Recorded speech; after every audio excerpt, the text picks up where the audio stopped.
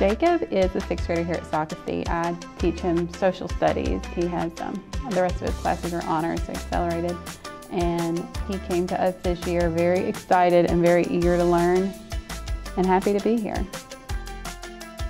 Jacob was nominated, I nominated him because he was filling out his application to join Alpha Beta and he was giving his biography about himself and some of the things that he's gone through and some of the goals that he has and his, he laid out his plans to try to achieve those goals and I was really impressed by his drive. Jacob demonstrates leadership by making good choices. He makes honor roll, he participates in class discussions, leads class discussions, and is always willing to help out his friends. To me, Jacob had a pretty rough childhood and has had to overcome a lot and still comes to school every day with a smile on his face, eager to learn and ready to help out everyone around him.